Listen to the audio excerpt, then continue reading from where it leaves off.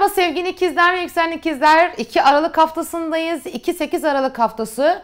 Yani Aralık'ın ilk haftası yoğun bir gündem var. Nurcan neler olacak çok merak ediyoruz diyorsunuz. Şimdi başta şunu hatırlatayım.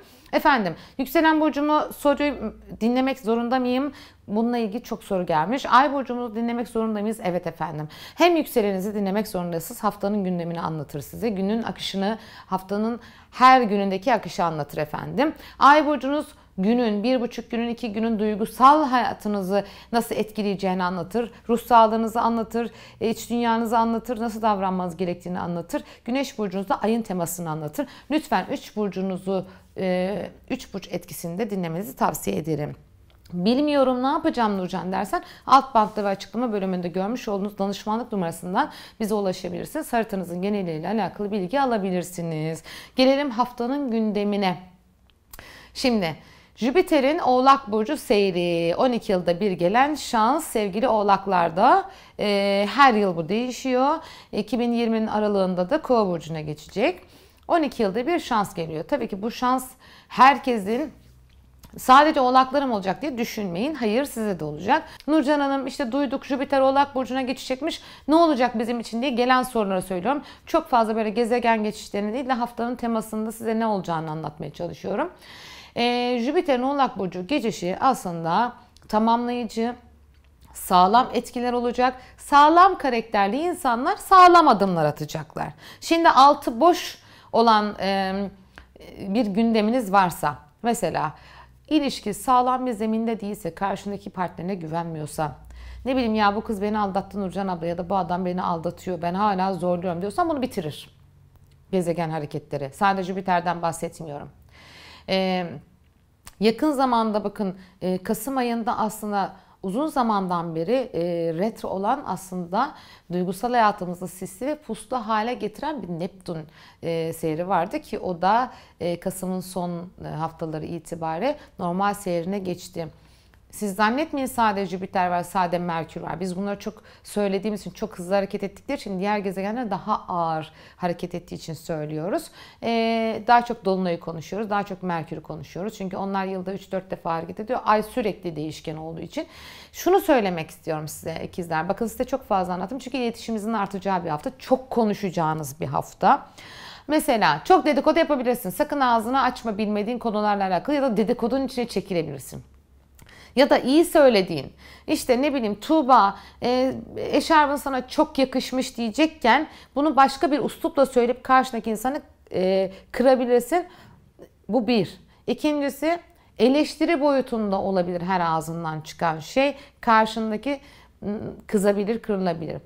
Yanında o kişi yokken, Tuğba yokken, hep Tuğba diyorum çünkü Tuğba karşımda ne bileyim Tuğba hakkında aslında güzel bir şey söylerken onun kulağına dedikodu gibi gelir. Hani çocukken böyle oynardık ya kulaktan kulağa. En sonuncu da başka bir şey söylerdi. Onun gibi olabilir. Yani bu hafta dedikodulara dikkat.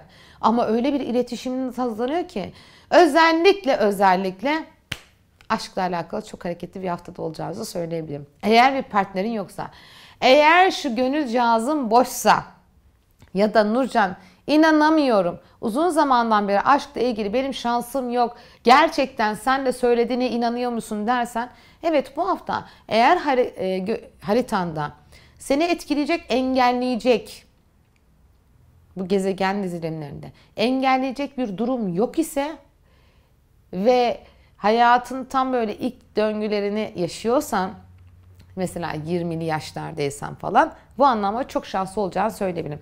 Bir de 35 yaş üstü insanlar için ya olmaz bu yaştan sonra da olmaz dedi, diyen kişiler aşkı yakalayabilir efendim. Bu da iletişim çok güçlü olduğu için iletişimle geleceğini işaret ediyor. O zaman günlere katılın, düğünlere katılın, bütün davetlere katılın efendim. Biz günler var. Ben katıldım. Sizin gününüz var mı bilmiyorum. Annemlerle yapıyorum. Emekliler gününe katıldım ben efendim. Sizin günleriniz de bilmiyorum. Günlerde karşınızda hiç ummadığınız yerden birilerinin vesilesiyle aşk hayatınızda, ikili ilişkilerinizde çok farklı olaylarla karşılaşabilirsiniz. Kimin vesile olacağı hiç belli olmaz. Belki de en dedikoducu, en aman bu kadından uzak duralım, bu adamdan uzak duralım dediğiniz kişi bile vesile olabilir bak. Öyle bir haftanın içerisindeyiz. İletişim çok hızlanıyor. Eğer basın, yayın, kitap yazmak, bir bloggerlık, ne bileyim reklam, satış, emlak bu alanlarda iş yapıyorsan buradan da çok kazançlı olacağını söyleyebilirim. Çarşambadan sonra para sayabilirsin. Ya ama herkesin kendi, kimisine 1 lira çok iyi gelebilir, kimisine 100 bin lira çok iyi gelebilir. Bilemeyiz tabii ki. Rabbim versin de ne kadar olsa ihtiyacımız kadar versin. Gelir gider düzenine de dikkat et. Çok harcayabilirsin bak para geldi diye. Hani hep geliyor hep geliyor diye değil Tamam gelsin gitsin gelmeden gitmesin ama cepten yemeyelim. Fakat gelini de tutmak zorundasın. Çünkü bak toprak grubu enerjisi var. Oğlak diyor ki disiplin ol. Para biriktir, paranı çarçur etme. Bunu çok öğreneceksin ve 2020'de bunu çok deneyimleyeceksin. O yüzden bu hafta bunların temeli atılıyor. Sevgili ikizler küçük seyahatler yapabilirsin. Yeni bir flört gelebilir ya da eski geçmişten birisine şans verebilirsin. Retro yok artık. E, ver şansı gitsin. E, ne bileyim ilişkilerde aile problemlerinin çözümü olacağı bir, bir süreçteyiz. Birileri araya girebilir. Buradan problemleri çözebilir. Çözebilir de çözebilir. Yani bu hafta sizin için de çözüm haftası sevgili ikizler. iletişim çok fazla. Hafta sonu çok gezeceksin. Çok yiyeceksin, çok içeceksin. Kilo kontrolüne dikkat et. Eğer ki yani yemeğiyle ilgili can boğazdan gelir ya can boğazdan gider gibi bir rahatsızlığın varsa oraya da dikkat et sevgili ikizler, yükselen ikizler.